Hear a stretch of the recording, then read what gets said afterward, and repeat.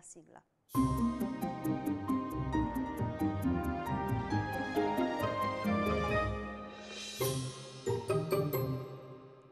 Buongiorno ad Edoardo Tincani, direttore della Libertà. Buongiorno Susanna. Oggi parliamo di una santa molto conosciuta, Maria Goretti. Santa Maria Goretti, una santa bambina che ha fatto sicuramente notizia e scalpore per tanta parte del secolo scorso, oggi forse un pochino meno eh, conosciuta dalle nuove generazioni intendo, però certamente vergine e martire, una figura che merita di essere rilanciata, diciamo così.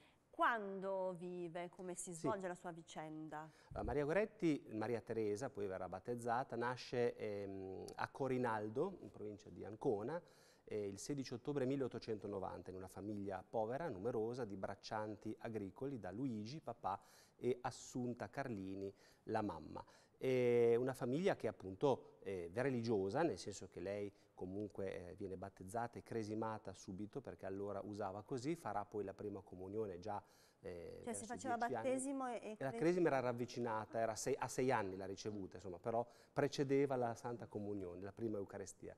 E, um, una bambina che dà una mano in casa non appena cresce e che vive il primo diciamo, mh, trasloco della sua vita quando dalle Marche, appunto da Corinaldo, la famiglia eh, deve cercare lavoro, sono dei braccianti agricoli l'abbiamo detto, e anziché emigrare in America come molti facevano allora, vanno, fanno una scelta abbastanza eh, coraggiosa perché vanno a, a coltivare i terreni nell'agro pontino, quindi in provincia di Latina, che allora però era una zona molto insalubre.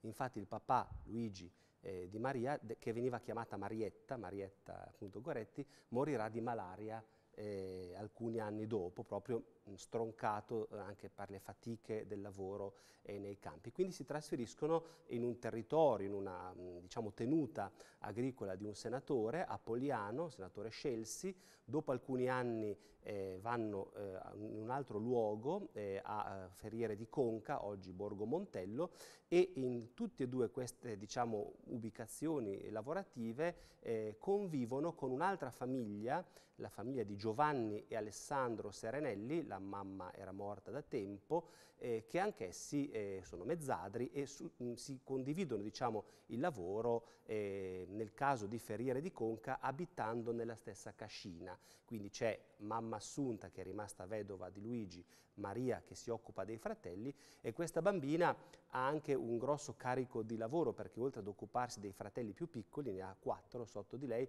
eh, deve anche trasportare l'acqua perché allora nelle case non c'era, deve andare a Nettuno che era non certamente vicino a piedi a vendere i colombi e le uova, deve occuparsi del rammendo del rammendo degli abiti e delle prime colazioni dei lavoratori che poi andavano nei campi, tra cui appunto anche Giovanni, il papà, e Alessandro Serenelli, che poi sarà il suo, eh, diciamo, uccisore. Ecco, quindi come si sviluppa la vicenda e il suo uccisore chi è? Sì, allora arriviamo a questa storia che appunto è quella che ha reso così famosa, diciamo così, eh, Marietta, Maria Goretti. Eh, diciamo che abbiamo detto queste due famiglie, eh, Goretti e Serenelli, lavoravano sostanzialmente nello stesso terreno eh, nel conte, del conte Mazzoleni a Ferriere di Conca e, e si suddividevano i compiti. Però eh, ci sono degli screzi tra eh, Giovanni, il papà Serenelli e mamma Assunta perché comunque eh, lui vuole in qualche modo controllare anche i conti e la vita in modo abbastanza pressante della famiglia Goretti. E soprattutto Alessandro che aveva già 18 anni ma era ancora minorenne allora perché la maturità si eh, diciamo, sì, guadagnava 21 anni e questo poi inciderà sul suo percorso eh, carcerario. Comunque Alessandro che ha già 18 anni, a differenza di Maria che è illetterata, sa leggere e scrivere, va spesso a Nettuno, eh, torna spesso con delle riviste di attrici, insomma erano le prime eh, illustrazioni un po' audaci per quei tempi e nel suo immaginario attirano o comunque alimentano un interesse morboso per la piccola Maria che nel frattempo aveva già 11 anni e cominciava l'età dello sviluppo e inizia a molestarla. Maria eh, respinge sempre i suoi interessamenti anche perché lei considerava Alessandro come un fratello, visto che la casa era un po' una famiglia allargata. Però poi il 5 luglio 1902, arriviamo al fatto eh, di sangue, eh, Alessandro ha premeditato insomma, di aggredire eh, Maria, avviene eh, lui torna dai campi con un pretesto, trova Maria che sta ramendando una sua camicia, tra l'altro sul limitare dell'aia, e la trascina all'interno, in cucina, e cerca di violentarla, quindi un tentato stupro. Oggi parleremmo di femminicidio per questa vicenda. Maria resiste ancora una volta dicendogli no, eh, se fai così vai all'inferno.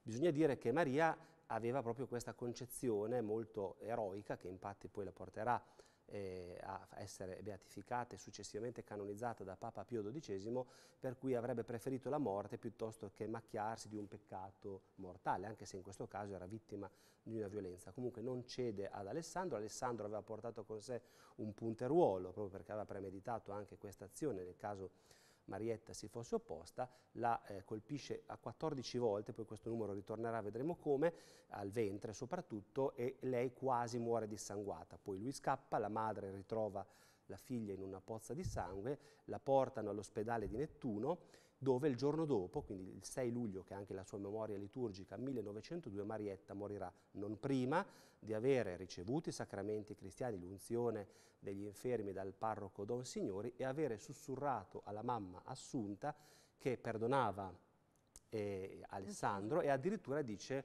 lo vorrei vicino a me in paradiso. Questa è una specie di profezia che poi in qualche modo, naturalmente non possiamo saperlo con certezza perché non abbiamo fonti del paradiso, ma si verificherà e adesso magari eh, diciamo quindi infatti quindi cosa succede? Allora spostiamo l'attenzione esatto possiamo spostare l'attenzione un attimo da Marietta che comunque abbiamo detto verrà beatificata la sua fama di santità eh, si diffonde e il Papa riconoscerà il suo martirio che la porterà alla beatificazione, perché appunto ehm, lei ha mantenuto non solo la castità, la verginità, ma ha voluto dimostrare la sua fedeltà prima di tutto a Dio, cioè non ha voluto eh, condividere eh, nessun peccato con il suo assalitore e poi ha perdonato in punto di morte. Ci spostiamo su Alessandro, viene arrestato, fa tre anni di isolamento, viene condannato a 30 anni di carcere e non all'ergastolo perché abbiamo detto a 18 anni si era ancora minorenni, altrimenti avrebbe avuto l'ergastolo, poi in realtà ne farà 27 di anni di carcere.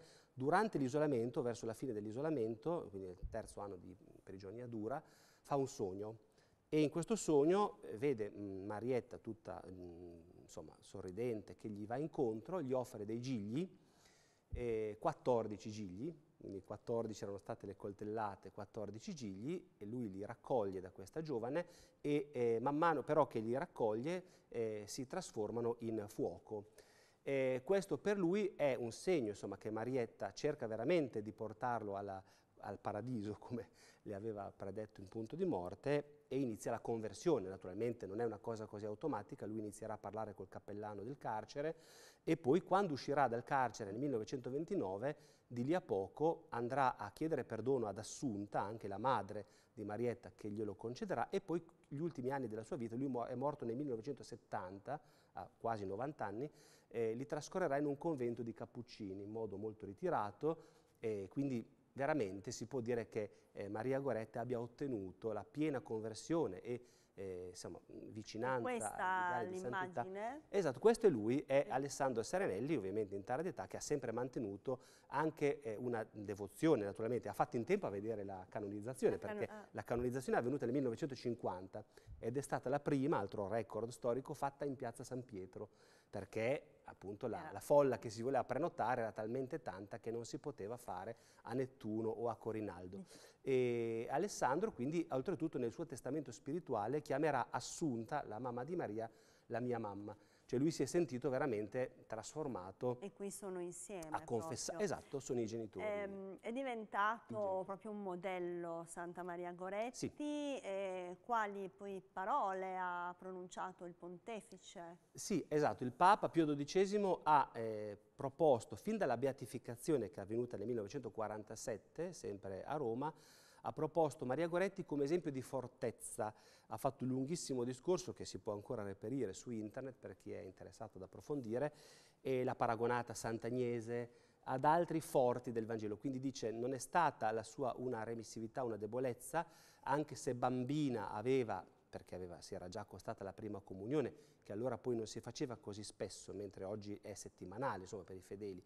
E poi, oltretutto, andare a prendere la comunione allora, eh, a quei tempi, in un territorio disagiato, voleva dire camminare a lungo, no? eh, quindi mh, ha avuto una vita cristiana e ha amato la famiglia cristiana, perché non dimentichiamo che ha fatto una vita di sacrificio questa bambina, cioè per i fratelli, per la mamma, per il lavoro nei campi, e poi ha testimoniato appunto la carità e il martirio insomma, subito per amore di Dio prima di tutto, ha messo Dio al primo posto della sua vita e ha perdonato appunto e abbiamo visto anche come il, il, perdono sia efficace naturalmente per chi crede perché attraverso queste parole e il sogno di Alessandro si è messo in moto una trasformazione nella vita di questa persona. Questo, se posso dire, un gancio con l'attualità. È vero che molti termini, la purezza, la castità, ci riportano un immaginario forse appunto da secolo scorso, da primi del secolo scorso, però anche oggi che si parla tanto di femminicidio, stalking, molestie sessuali, ed è purtroppo una realtà amara, ehm, no, ci aiuta questa vicenda, secondo me, a non dimenticare anche che anche l'assalitore, l'aguzzino, il violentatore può essere recuperato. Quindi spesso c'è invece, sappiamo mediaticamente, una, gogna, una gogna diciamo comprensibile che... dal punto di vista dell'emozione, è orribile che questi fatti, che purtroppo sono frequenti, provocano. Però ecco, Maria Goretti ci insegna anche a non, a non perdere di vista il bene, la salvezza, diciamo in senso cristiano, eh, di chi commette il reato e il peccato diciamo, appunto quello dovrebbe essere l'obiettivo del nostro del sistema carcere. carcerario. Certo, certo. Purtroppo non Nel sempre caso di Alessandro Stanelli è avvenuto perché è avvenuto. comunque il cappellano del carcere lo ha veramente aiutato a tirare fuori il suo disagio, a confessare. Percorso, questo percorso di pentimento esatto. vero. Quindi una storia anche edificante da questo punto di mm. vista. Grazie ad Grazie Edoardo Tincani, direttore della Libertà. Alla Presto, alla prossima puntata.